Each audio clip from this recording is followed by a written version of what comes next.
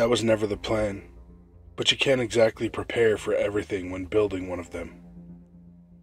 He was supposed to be a simple service droid, a cleaner who made the occasional observation or insight that made me laugh or think for a moment. And that's how it was for those first few months. He said he found Dad's paints in the attic, which I suppose makes sense. He started asking questions about what they were for and how to use them. So I began to tinker with his hardware for a little while, till he was able to confidently observe and replicate. I'd programmed him to only draw from observation, mind you. I wanted to see how accurate he could be. He started off small, painting leaves and flowers out by the creek. Soon he got good, really good actually, and fast too. He would spend hours painting dozens of birds, mammals, and trees, till he began to work on whole landscapes. There was something so intrinsically magnificent about them all. They weren't necessarily completely accurate, but the little inconsistencies were what gave them character.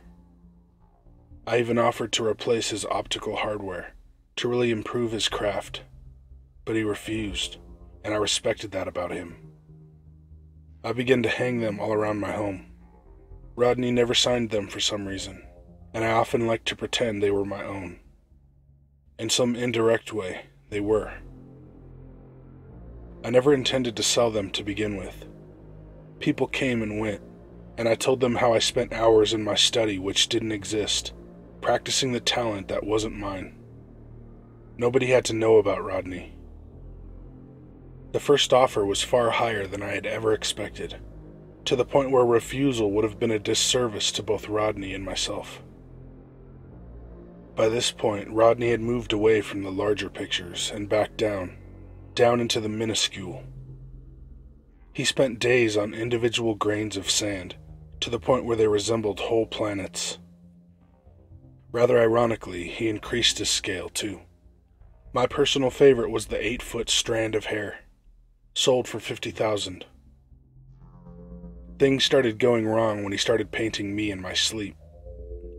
I didn't know anything about this until I saw an entire series hidden behind a few of the others in the attic. They were undeniably me.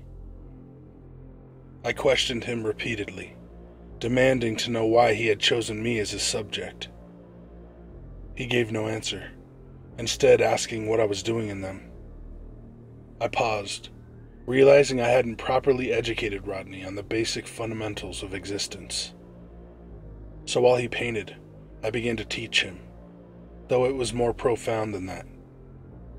I told him how humans sleep and dream, though the latter is without a proper scientific explanation. I read him books on ecosystems, world history, astrophysics.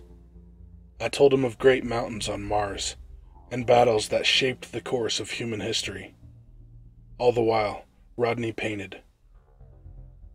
Soon I was making a small fortune, and more importantly, I had gained a reputation in the art community. Rodney's paintings hung from prestigious galleries across the country, soon the world, and my face with them soon became somewhat of a pop culture icon. All the while, Rodney painted unbeknownst to the world. I realize now that call from my marketing team about my own gallery came on the anniversary of Rodney's first painting. Three years exactly. I ran home to tell him, imploring him to dig deep within himself, paint like he had never done before. He spent months alone, as he had requested. He would tell me through closed doors how his final series would soon be ready. The day finally came. I was able to see Rodney's final series before I handed it over to the gallery for the opening. They were nothing short of the macabre. Grotesque, gothic observations of dying rats and birds, floating amongst great eldritch figures and hellscapes. Giant red stars burning, fueled by the dying souls of thousands. Detached limbs, human skulls blood red anguish and cold, unfeeling voids. Rodney's final series. I shut the attic door and interrogated that droid mercilessly, He couldn't have painted these from imagination. It wasn't in his programming. The thought that he had seen these things, perhaps even committed acts that led to these awful scenes, was too much to handle. He gave no answer. I took the paintings and locked the attic door behind me. The opening was an astounding success. Crowds gasped, screamed, cried at Rodney's works. Offers were made beyond anything I had imagined. It was hailed as a triumph, my magnum opus. All the while, I felt I was an accomplice to some awful act, displaying evidence of crimes against humanity. I knew what had to be done. The house was silent when I came home. The attic door was still locked, and no sound came from the other side. I called out for Rodney, to no reply, before stepping in. And there he was, what was left of him. Hunks of metal, flickering disjointed gears and wiring strewn about the place. The bulk of him, that which comprised his head, arm, and upper torso, lay resting by a canvas, paintbrush in hand, I ran over to him, saw the note he had left in his perfect, programmed handwriting. I've always seen the things I painted, Father. You taught me how to dream, and in my dreams they came to me. But you never taught me what happens when we die, Father. That is what I must discover for myself. It's still in the attic if you wish to find it. I cannot put into words what he painted only that if this is truly what he saw in his final moments, then I fear death more than anything, except living with the memory of what I saw. They'll find my body here, in front of the fireplace, and Rodney's in the attic. This is more for police convenience.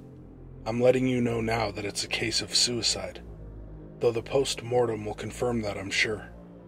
Cyanide is easy to detect in the bloodstream more than anything, though, I wish for Rodney's story to finally be told before I join him on his journey of discovery. Let it be known to the world that Rodney liked to paint.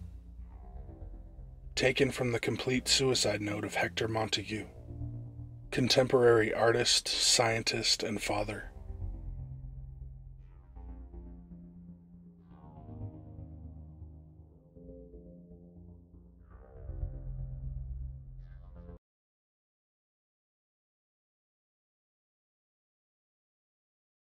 Hey guys and ladies, thanks for watching. Links to all my shit are down in the description. Come follow me on social media and join my Discord. Also check out my other channel, Cory Ryno. And be good to animals, even people, so...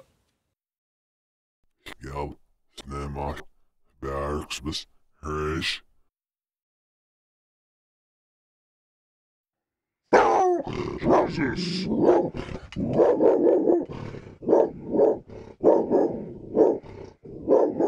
scared the piss out of me. Okay, so now we gotta wait for this to die down.